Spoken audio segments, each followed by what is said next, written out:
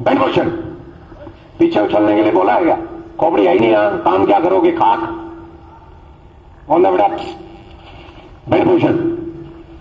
on the बेटा पीछे उछल बैंड पोजिशन देख ले